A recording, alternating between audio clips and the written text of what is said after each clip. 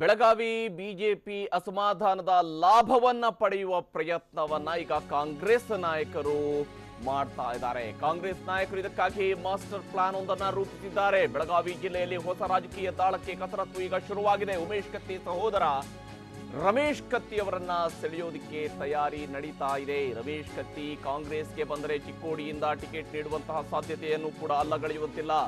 ರಮೇಶ್ ಕಾಂಗ್ರೆಸ್ಗೆ ಬಂದರೆ ಚಿಕ್ಕೋಡಿಯಲ್ಲಿ ಗೆಲ್ಲಬಹುದು. ಪ್ರಕಾಶ್ ಹುಕ್ಕೇರಿಗೆ ಬೆಳಗಾವಿ ಟಿಕೆಟ್ ಅನ್ನ ನೀಡುವ ಬಗ್ಗೆಯೂ ಕೂಡ ಚಿಂತನೆ ನಡೆಸಲಾಗ್ತಾ ಇದೆ. ರಮೇಶ್ ಕತ್ತಿಗೆ ಚಿಕ್ಕೋಡಿ ಲೋಕಸಭಾ ಕ್ಷೇತ್ರವನ್ನ ಬಿಟ್ಟುಕೊಟ್ಟು ಪ್ರಕಾಶ್ ಹುಕ್ಕೇರಿಯವರನ್ನ ಬೆಳಗಾವಿಯಿಂದ ಕಣಕ್ಕಿಳಿಸುವಂತಹ ಸಾಧ್ಯತೆ ಬಗ್ಗೆಯೂ ಕೂಡ ಚರ್ಚೆ ಈಗ ನಡೀತಾ ಇದೆ. ಯಾಕಂದ್ರೆ ಎರಡೂ ಕ್ಷೇತ್ರಗಳನ್ನ ಗೆಲ್ಲೋದಿಕ್ಕೆ ಅವಕಾಶ ಸಿಗುತ್ತೆ ಅನ್ನುವ ಲೆಕ್ಕಾಚಾರ ಈಗ ಕಾಂಗ್ರೆಸ್ ನಾಯಕರದ್ದು. ಹೀಗಾಗಿ ಒಂದೊಂದು ಕ್ಷೇತ್ರವೂ ಕೂಡ ಇಂಪಾರ್ಟೆಂಟ್ ಆಗಿರೋದ್ರಿಂದಾಗಿ ಕಾಂಗ್ರೆಸ್ ಪಕ್ಷ ಈಗ ಚಿಕ್ಕೋಡಿ ಜೊತೆ ಜೊತೆಗೇನೆ ಬೆಳಗಾವಿಲೂ ಕೂಡ ಗೆಲ್ಲಬಹುದು ಅನ್ನುವ ಲೆಕ್ಕಾಚಾರದಲ್ಲಿ ಇದೆ. ಈಗಾಗಲೇ ಬೆಳಗಾವಿ ಮತ್ತು ಚಿಕ್ಕೋಡಿ ಎರಡೂ ಲೋಕಸಭಾ ಕ್ಷೇತ್ರಗಳಿಗೆ ಕಾಂಗ್ರೆಸ್ ಪಕ್ಷ ತನ್ನ ಅಭ್ಯರ್ಥಿಗಳನ್ನ ಘೋಷಣೆ ಮಾಡಿದೆ. ಬೆಳಗಾವಿಯಿಂದ ಸಾಧಣ್ಣ ಅವರಿಗೆ ಟಿಕೆಟ್ ಅನ್ನು ಕೊಟ್ರೆ ಚಿಕ್ಕೋಡಿಯಿಂದ ಪ್ರಕಾಶ್ ಹುಕ್ಕೇರಿಗೆ ನೀಡಲಾಗಿದೆ.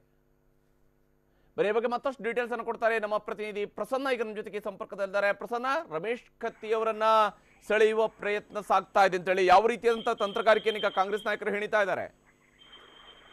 ಹರಿಪ್ರಸಾದ್ ಪ್ರಮುಖವಾಗಿ ಬೆಳಗಾವಿಯಲ್ಲಿ ಏನು ಬಿಜೆಪಿಯ ಟಿಕೆಟ್ ಸಿಗದೆ ಬೇಸರಗೊಂಡಿರುವಂತಹ ಉಮೇಶ್ ಕತ್ತಿ ಮತ್ತು ರಮೇಶ್ ಕತ್ತಿ ಅವರ ಆ ಒಂದು ಪರಿಸ್ಥಿತಿಯ ಲಾಭವನ್ನ ಪಡೆದುಕೊಳ್ಳೋದಕ್ಕೆ ಕಾಂಗ್ರೆಸ್ ನಾಯಕರು ಕೂಡ ಒಂದು ಮಾಸ್ಟರ್ ಪ್ಲಾನ್ ಅನ್ನ ಸಿದ್ಧಪಡಿಸ್ತಾ ಇದ್ದಾರೆ. ರಮೇಶ್ ಕತ್ತಿ ಅವ್ರನ್ನ ಕೈ ಪಾಳೆಯಕ್ಕೆ ಸೆಳೆದ್ರೆ ಹೇಗೆ ಅನ್ನುವಂತಹ ಯೋಚನೆ ಈ ನಿಟ್ಟಿನಲ್ಲಿ ಬೇಕಾದಂತಹ ಹೋಮ್ವರ್ಕ್ ಅನ್ನ ಈಗಾಗಲೇ ಸಿದ್ಧಪಡಿಸಿಕೊಳ್ತಾ ಇರುವಂತಹ ರಾಜ್ಯ ಕಾಂಗ್ರೆಸ್ ನಾಯಕರು ಮೊದಲ ಸುತ್ತಿನ ಪ್ರಾಥಮಿಕ ಮಾತುಕತೆಯನ್ನು ಕೂಡ ನಡೆಸಿದ್ದಾರೆ ಎನ್ನುವಂತಹ ಮಾಹಿತಿ ಲಭ್ಯವಾಗ್ತಾ ಇದೆ.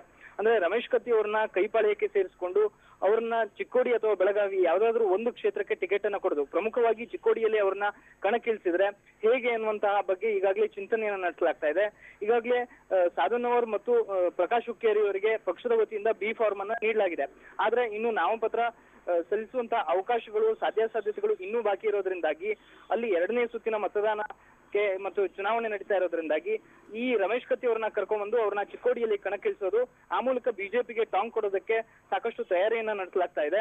ಈ ಬಗ್ಗೆ ಪ್ರಾಥಮಿಕ ಒಂದು ಸಭೆಯನ್ನು ಕೂಡ ಮತ್ತು ಚರ್ಚೆಯನ್ನು ಕೂಡ ನಡೆಸಿರುವಂತಹ ರಾಜ್ಯ ನಾಯಕರು ಅಲ್ಲಿ ಬೇಕಾದಂತಹ ಸಿದ್ಧತೆಗಳನ್ನು ಕೂಡ ಮಾಡ್ಕೊಳ್ತಾ ಇದ್ದಾರೆ.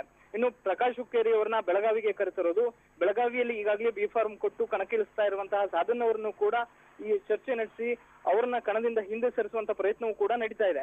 ಆದ್ರೆ ಇನ್ನೊಂದು ಕಡೆ ಸಾಧನ್ ಅವರು ಇದಕ್ಕೆಲ್ಲ ಒಪ್ಕೊಳ್ತಾರ ಅನ್ನುವಂತ ಪ್ರಶ್ನೆಯನ್ನು ಕೂಡ ರಾಜ್ಯ ನಾಯಕರ ಮುಂದೆ ಬೆಳಗಾವಿಯ ಕಾಂಗ್ರೆಸ್ ಮುಖಂಡರು ಇಟ್ಟಿದ್ದಾರೆ. ಇದೆಲ್ಲದಕ್ಕೂ ಕೂಡ ಎಷ್ಟು ಲಾಭ ಆಗ್ಬಹುದು ಎಷ್ಟು ನಷ್ಟ ಆಗ್ಬೋದು ಅನ್ನುವಂತ ಕೂಲಂಕುಷವಾದಂತಹ ಪರಿಶೀಲನೆಯಲ್ಲಿ ತೊಡಗಿರುವಂತಹ ರಾಜ್ಯ ನಾಯಕರು ಈ ನಿಟ್ಟಿನಲ್ಲಿ ಒಂದಷ್ಟು ಹೋಮ್ವರ್ಕ್ ಅನ್ನಂತೂ ಆ, ಮಾಡ್ತಾ ಇದ್ದಾರೆ ಹರಿಪ್ರಸಾದ್.